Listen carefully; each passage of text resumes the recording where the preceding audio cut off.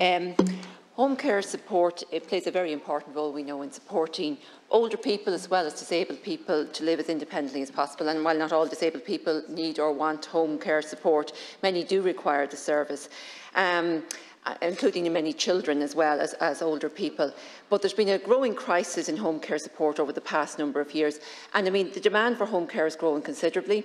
Uh, we see an increase year on year for the number of people being approved for hours and then the number of people being allocated. And I suppose that's down to our growing population.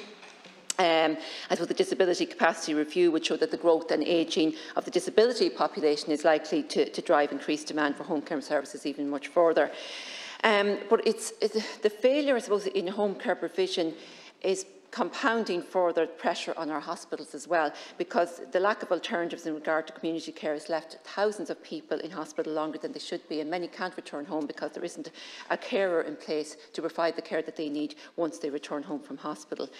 Um, and I suppose the issues confronting home care services, they come down to a failure of planning by government because I mean, home support workers are not going to simply appear out of, air, out of thin air. We need a proactive strategic approach to workforce planning across health and social care services. We need to see a pay agreement for the sector. Um, we need to see public investment in the future with regard to home care.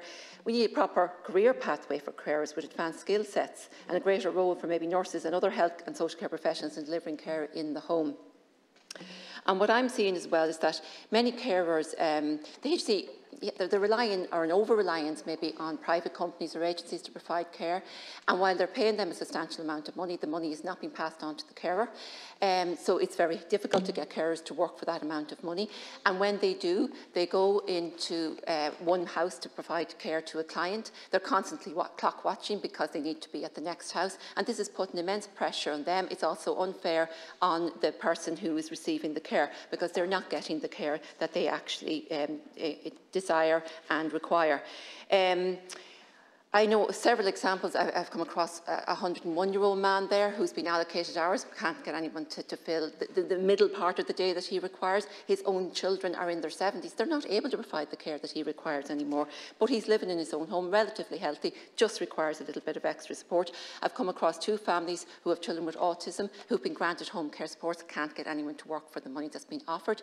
The HSE have then said, well, you can have a home care support, but you must act as the employer. So you must register as, as the the employer, you must pay the PRSI, the PAYE, you must change your home insurance as well.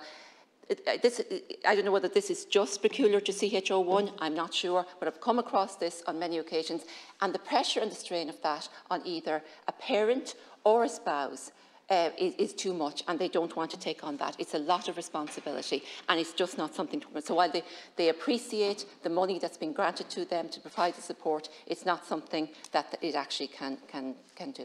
Thank you, Kankawa.